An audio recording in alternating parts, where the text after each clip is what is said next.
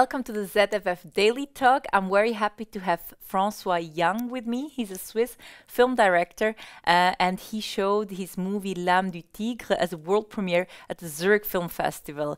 Salut, hello, Francois. Hello. Nice to have you here. Welcome. Yeah, thank you.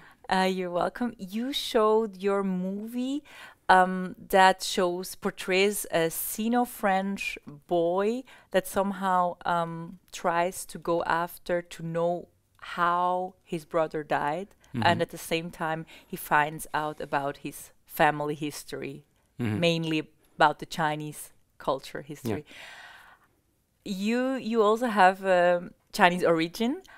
How did your personal story affected your movie?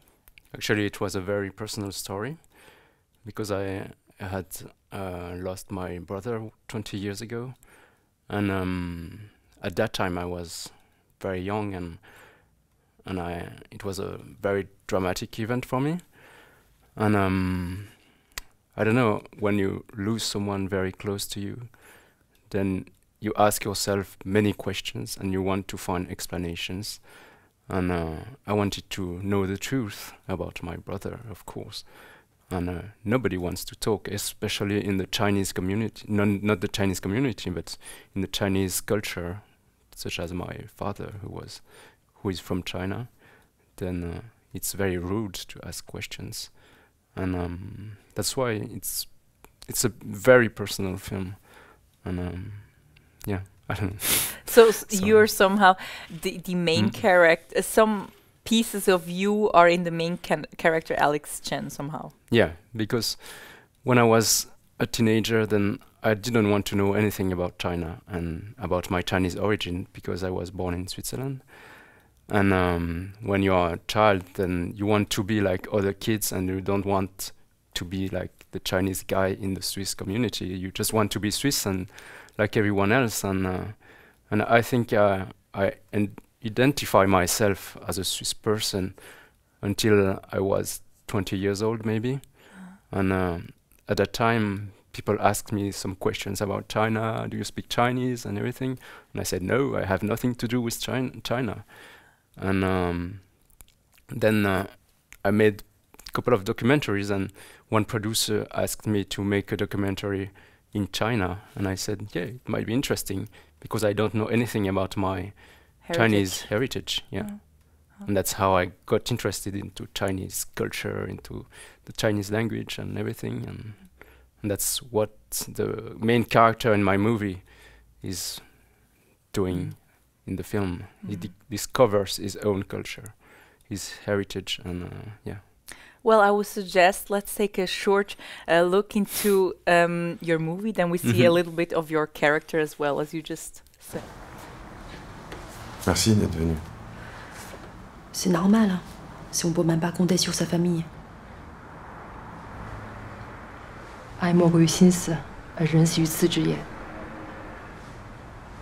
D'accord. T'es toujours signé en chinois C'est June qui avait le don des langues.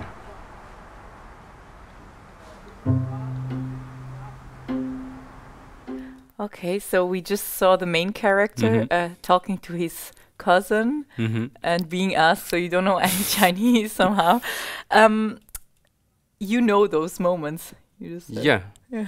It, it's very awkward when you are with your whole family, your uncle, cousin, and they know Chinese actually. They know they speak Chinese and you don't understand anything and you are at this for example at Christmas when we gather together to have a party like at, at home and we have a dinner and they speak Chinese and you're just like what are they saying? Mhm. It's really weird and it's yeah, okay.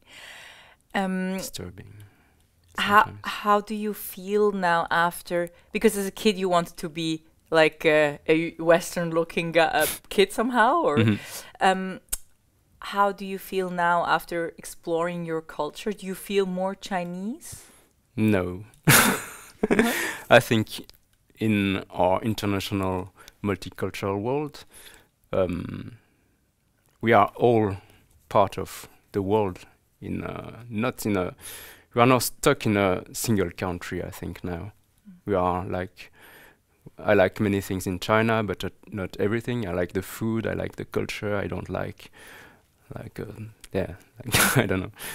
And um, I like many things in in Switzerland. I I like to pick in every culture what is interest interesting, and I think young people from today are like this. I think, yeah.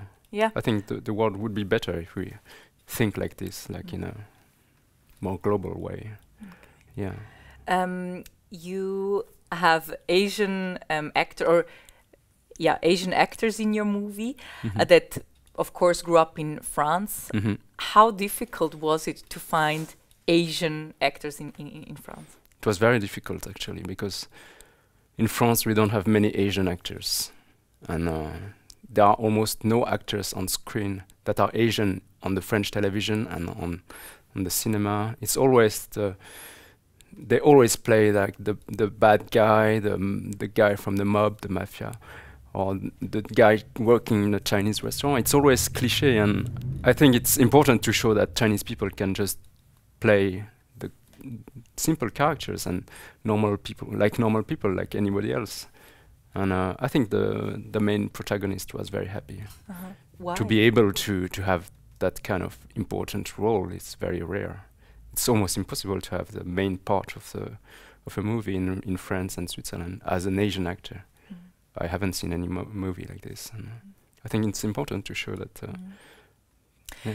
You have uh, also older, more uh, older actors, Yeah. Chinese actors, and they also talk about the culture revolution. hmm Um, how much was it from their story? Actually, it was half of their story and half of my script.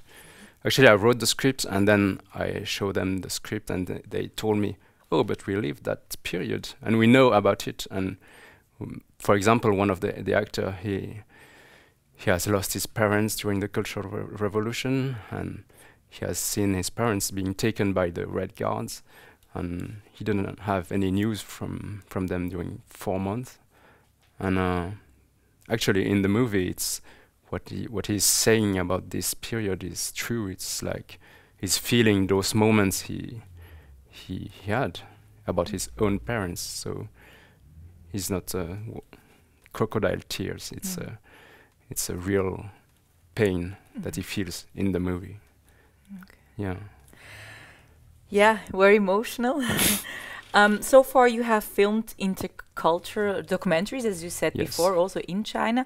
But now with L'Âme du Tigre, it's actually your first uh, feature movie. Mhm. Why?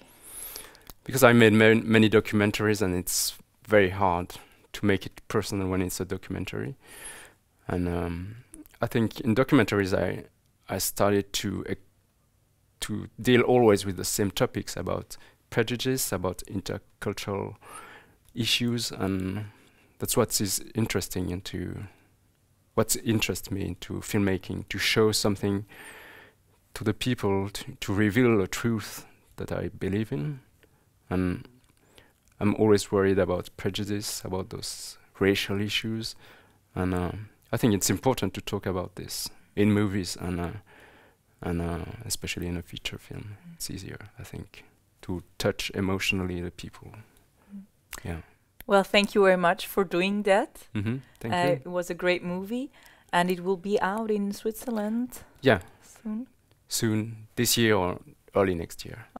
Well, thank you very much for watching. And of course, if you want to see more talks that were shot here at the Blick Video Studio, then make sure that you subscribe to our YouTube channel. And if you want to discuss one of the topics that were talked here as well, you can do that under the hashtag ZFF Daily.